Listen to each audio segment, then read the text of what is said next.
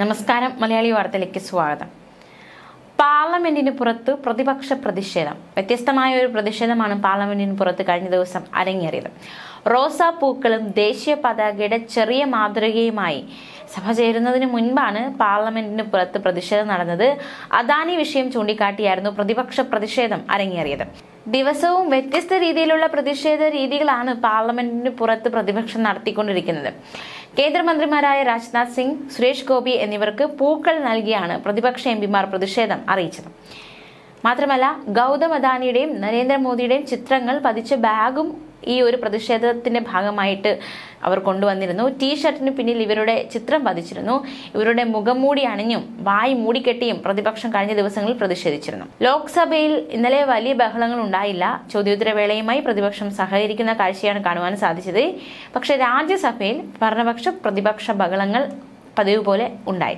അതേസമയം മുഖ്യ ഭരണകക്ഷിയായ ബി ജെ പി ചൊവ്വാഴ്ച പാർലമെന്റിന്റെ ഇരു സഭകളും സ്തംഭിപ്പിക്കുന്ന കാഴ്ച കാണുവാൻ സാധിച്ചു. അദാനി കോഴ മണിപ്പൂർ സമ്പദ് വ്യവസ്ഥയിലെ ഇടിവ് വിലക്കയറ്റം തൊഴിലില്ലായ്മ ബംഗ്ലാദേശ് സംഭവ വികാസങ്ങൾ കർഷക പ്രക്ഷോഭം സമ്പൽ കലാപം തുടങ്ങി പ്രതിപക്ഷം ഉന്നയിക്കുന്ന വിഷയങ്ങളിൽ ശ്രദ്ധ തിരിച്ചുവിടുക എന്ന ലക്ഷ്യത്തോടെ ഭരണപക്ഷം തന്നെ നടപടികൾ സ്തംഭിപ്പിക്കുന്ന അസാധാരണ സാഹചര്യമാണ് ഉണ്ടായത്.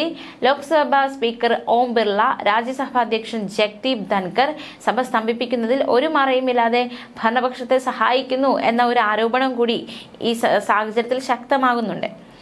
ലോക്സഭ ചേർന്ന സമയം തന്നെ പ്രതിപക്ഷത്തെ പ്രകോപിപ്പിക്കുന്ന വിധത്തിലാണ് സ്പീക്കർ ഓം ബിർള സംസാരിച്ചത്.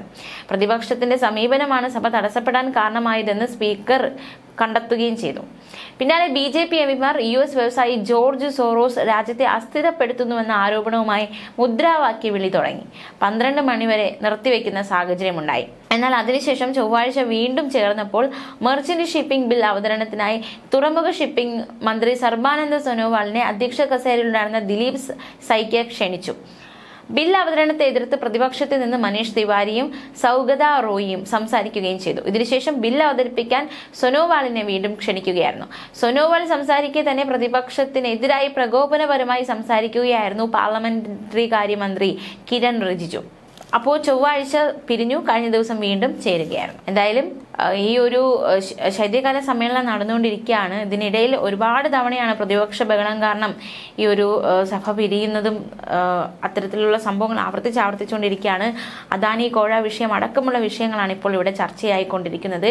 അദാനി കോഴ വിഷയവുമായി ബന്ധപ്പെട്ട് വലിയ രീതിയിലുള്ള പ്രതിഷേധമാണ് പ്രതിപക്ഷം പാർലമെന്റിൽ ഉന്നയിക്കുന്നത്. അദാനി കോഴ മണിപ്പൂർ വിഷയം സമ്പദ് വ്യവസ്ഥയിലെ ഇടിവ് വിലക്കയറ്റം തൊഴിലില്ലായ്മ ബംഗ്ലാദേശിന്റെ സംഭവ വികാസങ്ങൾ കർഷക പ്രക്ഷോഭം സമ്പൽ കലാപം തുടങ്ങിയ വിഷയങ്ങളിലൊക്കെ ഈ പാർലമെന്റിൽ ചർച്ചയാകുന്നു. അതിന്മേൽ പ്രതിപക്ഷ ബഹളമുണ്ടാകുന്നു. സഭ നിർത്തിവെക്കുന്ന സാഹചര്യം ഉണ്ടാകുന്നു അത്തരത്തിൽ വളരെ കലുഷിതമായ ഒരു ശൈത്യകാല സമ്മേളനമാണ് ഇപ്പോൾ നടന്നുകൊണ്ടിരിക്കുന്നത്. ഇതിനിടയിൽ വളരെ ചുരുക്കം ദിവസങ്ങൾ മാത്രമാണ് പൂർണമായി പാർലമെന്റ് സമ്മേളനങ്ങൾ ഒരു മുടക്കവും വരാതെ അല്ലെങ്കിൽ പിരിയാതെ പോയിക്കൊണ്ടിരുന്നത്. ന്യൂസ് ഡെസ്ക് മലയാളി വാർത്ത.